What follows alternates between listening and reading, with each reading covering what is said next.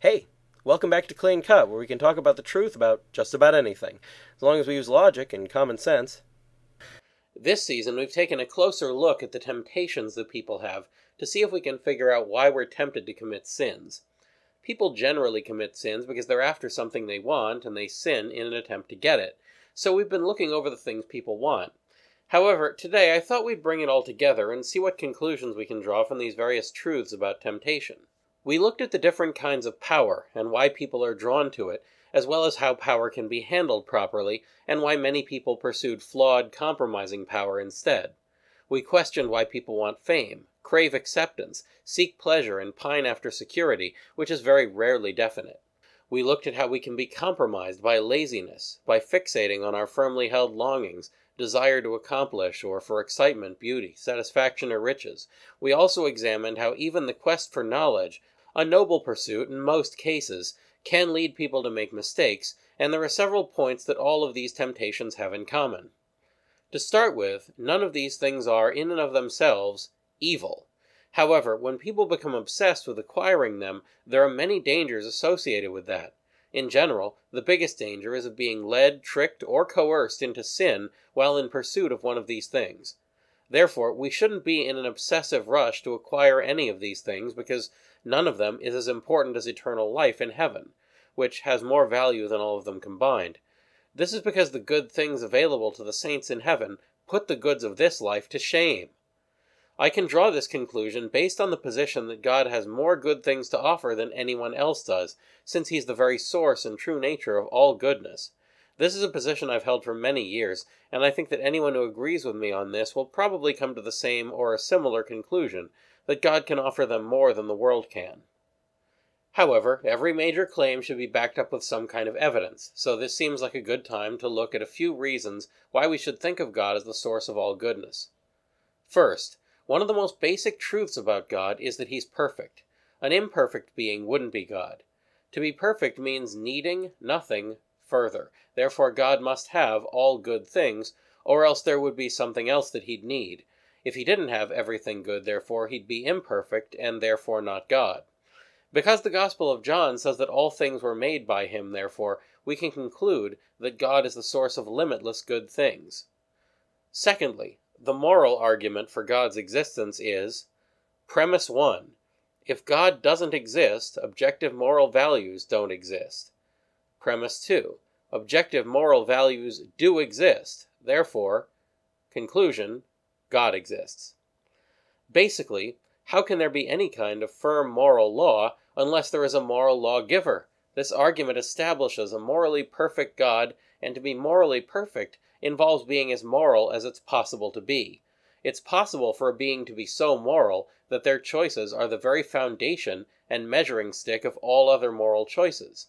So God is the source of all moral goodness in this way. Third, it's a long proven truism that you can't give what you don't have. If you don't have a loaf of bread, you can't give me a loaf of bread. However, God gave everything in the universe to its inhabitants. He produced these good things like stars, planets, elements, and fundamental forces, and therefore had them to give, and would still have had them to give, even if he'd never created the universe. However, if you give me a loaf of bread, I have one more loaf than I had before, and you have one less. God doesn't work that way, because God is infinite. And when something is infinite, no matter how much you take away from it, more always remains.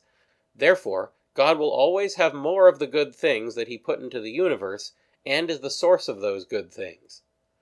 There are other reasons to believe that God is the source of all goodness, but I think these are the strongest ones. I consider this very important because the shallow, sterile conceptions that many people have of heaven, and which have been spread far and wide in Christian literature, don't seem to have much basis on these grounds.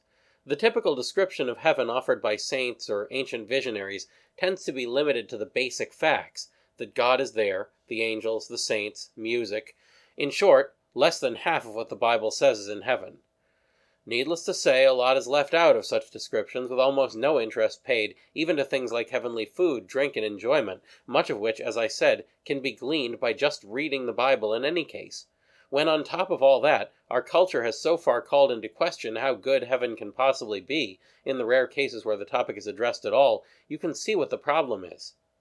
The world can't offer people anything that lasts forever, and people generally recognize that. So, one of the methods the devil has of tricking people into becoming distracted by worldly affairs and desires and forgetting heaven is to try to convince them that the good things of earth won't be attainable in heaven also, that heaven won't have possessions, pleasures, unique experiences, or in general, the sorts of things that would be acceptable to pay a person with. If this statement were true, I would consider it a fair point. After all, if you're about to spend all eternity with no money, pleasure, or unique experiences, no matter where you end up, a good case could be made for enjoying them while you have them.